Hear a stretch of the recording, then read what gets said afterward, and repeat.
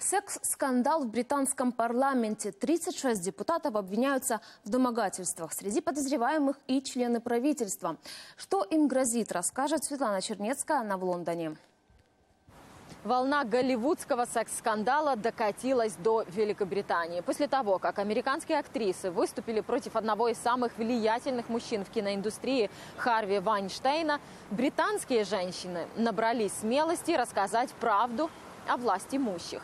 Начали с законодателей. В прессу попал тайный список, который циркулирует среди молодых женщин, сотрудничающих с консервативной партией. Это ассистенты и секретари, мечтающие о политической карьере.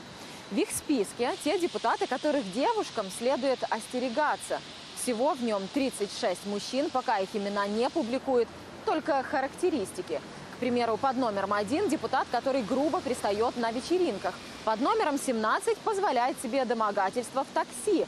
А под номером 30 просил сотрудницу делать странные и неприемлемые вещи. Но если этот список пока на уровне слухов, то обвинения против замминистра торговли реальны. Помощница Марка Гарнье рассказала, что он дал ей прозвище «сладкогрудая» и заставлял покупать игрушки для утех в секс-шопах. Министр обвинения не отрицает, но и домогательством их не считает.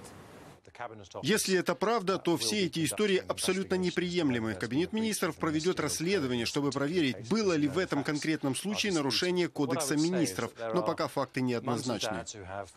Скандал быстро достиг национальных масштабов. Премьер Тереза Мэй пообещала уволить всех, чья вина в домогательствах будет доказана. А для начала отправила письмо спикеру Палаты общин с требованием ввести новые, более жесткие правила поведения для депутатов.